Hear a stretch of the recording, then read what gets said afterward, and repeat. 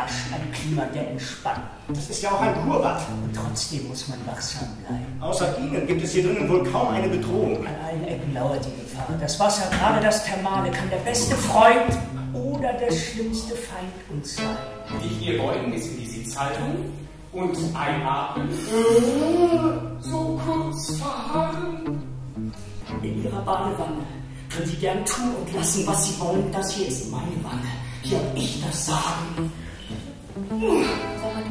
Oberfläche mal ganz nah ansehen? Unter die Lupe. Könnte man nach hier den Sprung entdecken schon. Das Kurbad ist der Ort der Wiederaneignung des Körpers.